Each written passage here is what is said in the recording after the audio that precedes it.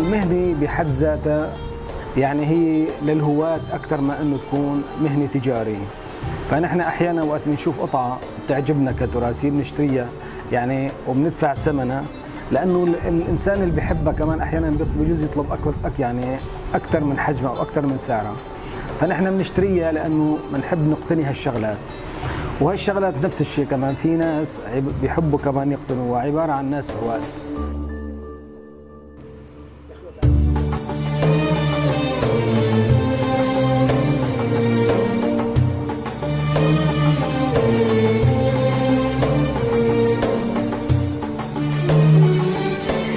بتلاقيها إنه آه، يعني الاتصالات مع محافظات ثانية صارت ضعيفة جدا. فصار إنه واحد بده يعني يقتني شيء كمان صار في صعوبة. حتى إمكانيات الناس بالبيع والشراء كمان صارت فيها صعوبة. وهي باعتبارها شغلات كمالية ما شغلات أساسية.